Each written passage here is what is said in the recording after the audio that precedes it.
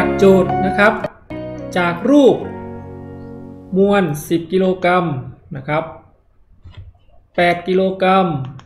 นะครับ และ 6 กิโลกรัมวางตัวบนพื้นไม่มีความฝืดดังภาพเลยนะครับ ซึ่งมวลทั้ง 3 นะครับ ผูกติดกันด้วยเชือก ลักษณะนี้ก็เป็นมวลระบบนะครับ ออกแรงขนาด 120 นิวตันนะครับ ลากมวลทั้ง 3 ดังภาพเลยนะครับ จงหาว่า ขนาดของแรงตึงเชือกทีหนึ่งทีสองอ่าก็คือดังภาพเลยนะครับ แรงตึงเชือกเส้นนี้ทีหนึ่งเส้นนี้ทีสองนะครับ มีค่าเท่าใดนะครับอ่าแรงตึงเชือกนะครับคอนเซปต์ก็คือแรงตึงเชือกเชือกเนี่ยมันดึงได้อย่างเดียวนะครับ มันเชือกมันไปผลักวัตถุไม่ได้ เพราะฉะนั้นเชือกจึงมีแรงตึงที่มีทิศ พุ่งออกจากวัตถุเท่านั้นคือมันดึงอย่างเดียวครับ ดึงมันก็เลยพุ่งออก มันเป็นทิศพุ่งเข้าไม่ได้ พุ่งเข้าสู่วัตถุคือการผลักนะครับ เพราะฉะนั้นแรงตึงเชือกมีทิศพุ่งออกจากวัตถุเท่านั้นครับร้อยเปอร์เซ็นต์นะครับอ่าลองไปพิจารณานะครับ เชือกผูกอยู่ที่จุดใดนะครับ แรงตึงก็ต้องพุ่งออกเห็นไหมครับ เชือกผูกอยู่ที่จุดใด แรงตึงเชือกพุ่งออก เชือกผูกอยู่ที่จุดใด แรงตึงเชือกพุ่งออก เชือกผูกอยู่ที่จุดใดแรงตึงเชือกพุ่งออกเห็นไหมครับ มวลระบบนะครับเราสามารถพิจารณารวมทั้งระบบก็ได้ พิจารณาแยกวัตถุทีละชิ้นก็ได้นะครับ ซึ่งถ้าโจทย์ถามหาทีหนึ่งนะครับทีหนึ่งคือแรงตึงเชือกเป็นแรงระหว่างมวล การคิดรวมนะครับจะไม่พิจารณาแรงระหว่างมวลนี้ เพราะฉะนั้นถ้าเราอยากได้คำตอบของโจทย์ข้อนี้เราต้องคิดแยก นะครับ เราเริ่มต้นจากที่โจทย์ถามครับ เราคิดแยกที่มวล 10 กิโลกรัม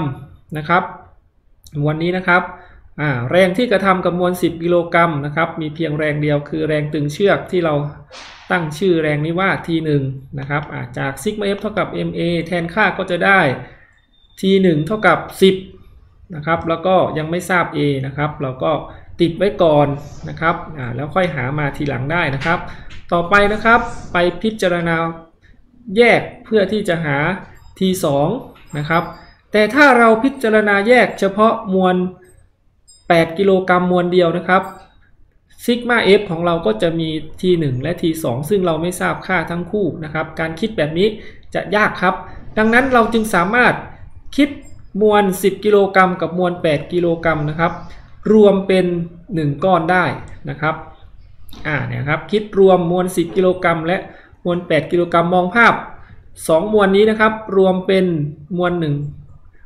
1 ก้อนนะครับ รวมกันนะครับ ก็จะได้มวลรวมคือ 18 นะครับ แรงระหว่างมวลไม่พิจารณานะครับ เพราะฉะนั้นแรงที่กระทำกับมวลรวม 10 กับ 8 นี้ก็คือ t 2นะครับจากซิกมา f เท่ากับ ma ก็จะได้ ซิกมา f คือ t 2 m ก็คือ 10 บวก 8 อ่า ติด a เหมือนกันนะครับ ระบบมวลนะครับ หรือมวลระบบนี้นะครับ มี a เท่ากันนะครับ เราหา a จากการคิดรวมครับ อ่า เพราะว่าเราทราบแรงที่กระทำต่อมวลรวมนะครับ ก็จะได้หา a จากการคิดรวมทั้งหมดนะครับ มวลรวมทั้งหมดก็คือ 10 บวก 8 บวก 6 นะครับ แรงรับที่กระทำกับระบบก็คือ 120 นะครับ อ่า ก็จะได้ a เท่ากับ 120 ส่วน4นะครับมีส่วน 24นะครับมีค่าเท่ากับตัดทอนให้เรียบร้อย5นะครับนำ a นะครับ5เมตรต่อวินาทีแทนค่าในสมการก่อนหน้าที่เราติดไว้ก็จะได้คำตอบครับ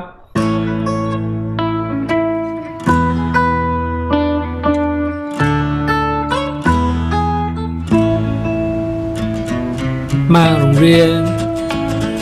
เรียนฟิสิกส์ กับครูบุนัดง่ายขนอเข้าใจดีด้วย กลับไปบ้าน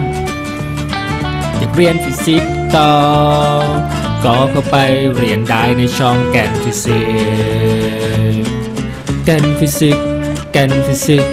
แกนฟิสิกส์แกนฟิสิกส์กดสับตะไคร้ช่องแกนฟิสิกส์ขอให้สนุกกับการเรียนนะครับ